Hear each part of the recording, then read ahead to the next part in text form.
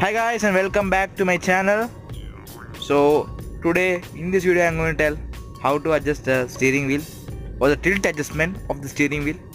So one lever is located here, right here. Just pull it down and pull the steering wheel down.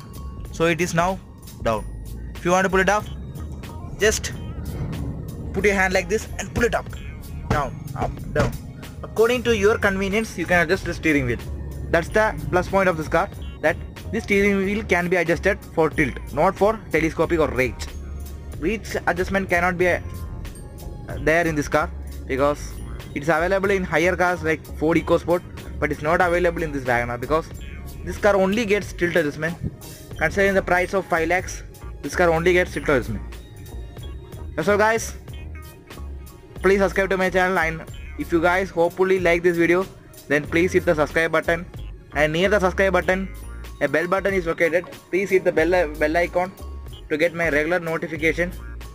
Wherever I upload some video you will get the exact notification. By only pressing that bell button only you can get the notification.